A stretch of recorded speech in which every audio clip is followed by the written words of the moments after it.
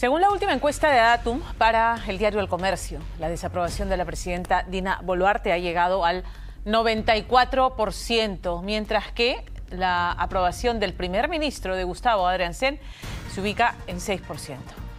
El sondeo publicado hoy lunes revela que la aprobación de la mandataria descendió hasta 3% a nivel nacional, mientras que el rechazo a su gestión alcanza el 94%.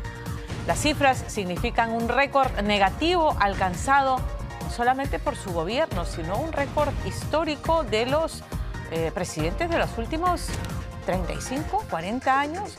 La desaprobación del presidente del Consejo de Ministros por su parte, de Gustavo Adriansen, ha alcanzado el 81%, una cifra que ha incrementado tres puntos porcentuales respecto al mes pasado. A su vez, el Premier mantiene un 6% de aprobación. Según ah, anotó el comercio, ningún titular de eh, la PCM había alcanzado niveles tan bajos de aprobación en por lo menos los últimos 13 años.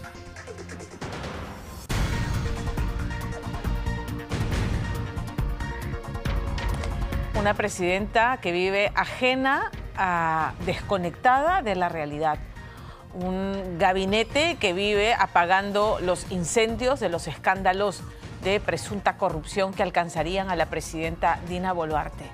Un gobierno incapaz de em, esbozar un plan consistente para eh, frenar la, delincuencia desbocada, asesina, eh, organizada eh, y no podemos dejar de mirar en esa línea al Congreso de la República, que sostiene un ejecutivo precario y que legisla en función de intereses particulares, favoreciendo, favoreciendo eh, a la criminalidad organizada.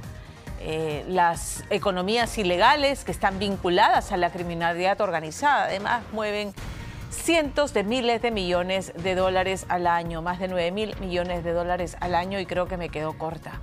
En un país con 70% de informalidad, este, este gobierno eh, se ha dedicado a eh, enfocar sus esfuerzos en blindar a la presidenta más que en poner en agenda las necesidades de los peruanos. Así que ahí está el resultado. Yo no sé si eh, allá, si, siquiera se puede hablar de legitimidad con una presidenta a la que solamente 3% considera que está haciendo bien las cosas. Ni siquiera está dentro del margen de error. 12 con 19. En el inicio de la audiencia donde se define si se dicta o no prisión preventiva contra el hermano.